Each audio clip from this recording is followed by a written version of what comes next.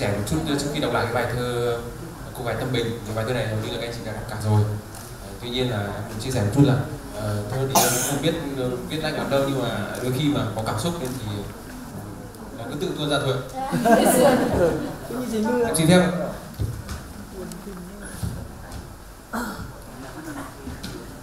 cô gái tâm bình. Tôi yêu em người con gái tâm bình. dáng vẻ dịu hiền và trái tim giản dị chăm sóc bệnh nhân mỗi ngày không ngơi nghỉ, ngắm nụ cười em, bệnh đã giảm bao phần.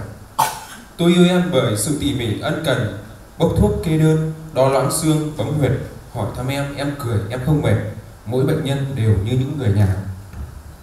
Và tôi yêu cả những lúc em ca, tiếng hát ngọt ngào của người làng quan họ, áo yếm dịu dàng nón quai thao bỏ ngỏ xin gửi tặng em cả ánh trăng quê mình.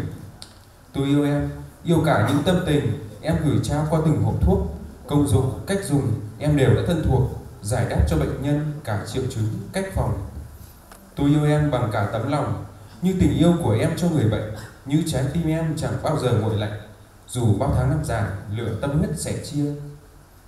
Tôi yêu em, yêu cả lối em đi, những ngày dãi dầm nắng mưa đến nhà thuốc, để hôm nay những gì em đạt được là mồ hôi, giọt nước mắt của em. Tôi yêu em, yêu sớm tối ngày đêm em miệt mài ngồi bên từng con số, xử lý giấy tờ, thu chi, hóa đơn đỏ. Đôi mắt quầng đen vẫn hiện rõ nụ cười. Tôi yêu em yêu em lắm em ơi. Đôi tay em chai sần cùng dược liệu.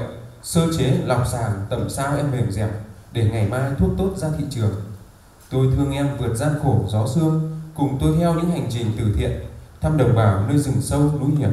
Nụ cười em chan chứa cả nghĩa tình. Tôi yêu em, người con gái tâm bình, bảy năm dài cùng hành trình phát triển dương buồn căng đón gió ngàn vượt biển, ngày vinh quang đang rực sáng chân trời.